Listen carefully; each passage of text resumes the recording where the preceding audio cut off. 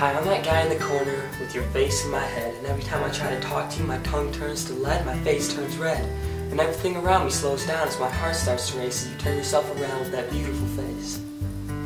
Hi, I'm that guy who sits up at night thinking about you, wondering what it truly is you do, wondering how hard it would be to walk in those shoes. It couldn't be that hard. After all, you're the one messing with my heart, not knowing if to begin conversations or how to start, not knowing whether to tell you my true feelings or just part.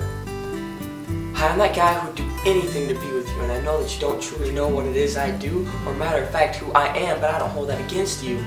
After all, we are all just human beings, and I'm just too afraid to tell you my true feelings. I'm that guy who constantly writes you poems, whether it be at school, the park bench, or at home.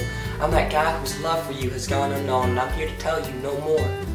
No more will I close that door to my heart, because my love for you is like an art, dissected, inspected, and resurrected, and I'm here to tell you my love for you will never die.